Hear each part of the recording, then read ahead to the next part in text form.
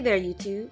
Today I'm going to show you how you can get the perfect fit for your YouTube channel art using Canva in a template guide. Once you're logged into Canva, you want to click on More. This is located on the Creative Design dashboard.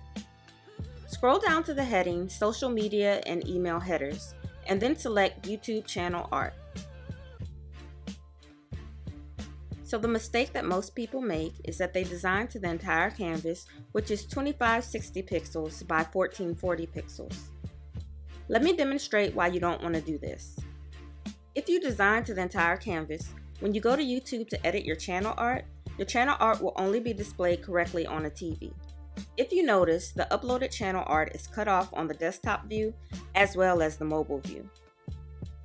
In order to get the perfect fit for your YouTube channel art, I have a free template guide that you can download. The link will be in the description box below. No gimmicks, it's a direct link. You will not have to view any ads to get to the template. However, I would appreciate it if you disable your ad blocker on this video. Once you have the template saved, simply upload it into Canva. Now that the template is uploaded, I'm going to place it onto the canvas. Let me go ahead and upload some random images so that I can design a channel art banner for demonstration purposes. You want to keep all of your design elements inside the box labeled text and logo safe area. This is the darkest shaded area of the template. This will give you the perfect fit when your channel is viewed on both a desktop and a mobile device. You don't have to worry about the perfect fit for television because that fit is the entire image. Once you have finished designing, make sure that you delete the template guide from your canvas.